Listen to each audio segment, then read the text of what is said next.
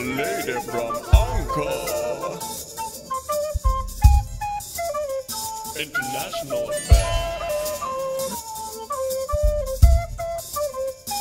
The lady. Hi, today I want to take a look at how to create a YouTube brand account and then to delete the YouTube channel part of it so that I can then use that particular empty brand account to move an existing YouTube channel to.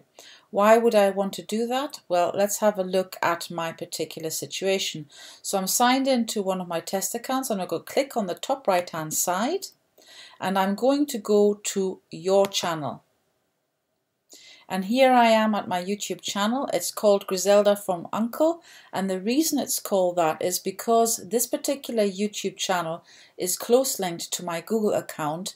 And my Google account obviously has my first and my last name. My first name Griselda, my last name von Uncle.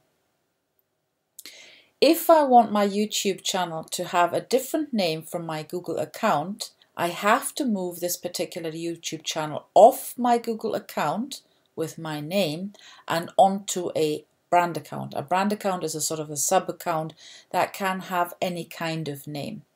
So for that, the best thing to do is to create a YouTube brand account and then to delete the YouTube channel. So to start, I'm going to be signed into the Google account that my YouTube channel is close linked to. And I'm going to click on the top right hand side and I'm going to go to settings. And on settings, I'm going to add or manage your channels. And instead of using any one of these, I'm going to click on create a new channel. And because my Google account already has a YouTube channel close linked to it and it can only ever have one at a time, the new YouTube channel that I'm about to create must come with a brand account. So I'm going to call it something like redundant channel brand account because as far as I'm concerned the channel part is redundant and I'm going to click create. When you're doing this you may be asked to verify the creation so if, if that's the case certainly enter the code that you will receive and now that I have created the YouTube brand account called Redundant Channel Brand Account, I can click at the top right hand side and I can again go to Settings. And this time I'm going to go to the bottom here where it says Advanced Settings, bottom left. And I am going to click on Delete Channel. Now, note that it says deleting your YouTube channel won't close your Google account. It also won't close your brand account. So I'm going to proceed with that. I'm going to be asked to verify um, that I have the authority to do this by entering my password. And I then have the option at myaccount.google.com to either hide the YouTube channel or to permanently delete it. I'm going to permanently delete it. And I'm going to tick that I accept that all of this is happening and I'm going to go ahead with delete my content.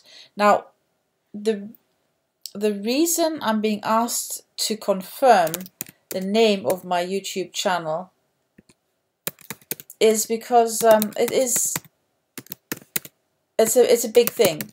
The the deletion of a YouTube channel is permanent and there is no way that I can reverse this. So by confirming that I know exactly which YouTube channel I am deleting, I'm ensuring that I don't accidentally delete the wrong one. So delete my content. And now I'm being told that my YouTube channel is being deleted. Let's go back to YouTube. If I now go to my YouTube channel, I will see that it's still called Griselda von Uncle.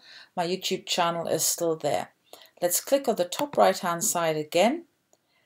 Again go to settings and again go to advanced settings and now cl click on move channel to a brand account. So I'm now in, entering into the second phase. I'm moving my YouTube channel called Griselda from Uncle because it's close linked to my Google account itself And here is the Google account with my first and last name.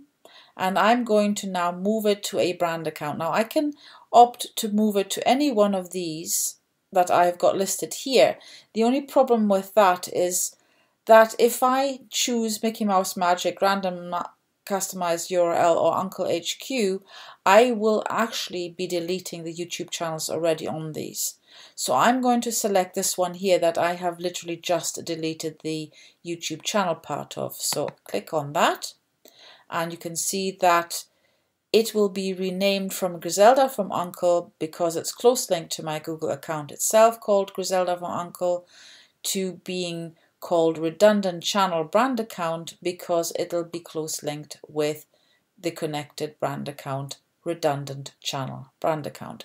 I can then change my selection if I should change my mind. I can cancel the action as well or I can proceed with this and click on move channel Am I sure that I wish to proceed? Because my channel name and icon will be updated across YouTube. Now, mistakenly, it's actually showing me the, the, the old avatar or the original avatar, but that won't be the case. And another thing, the channel URL won't change.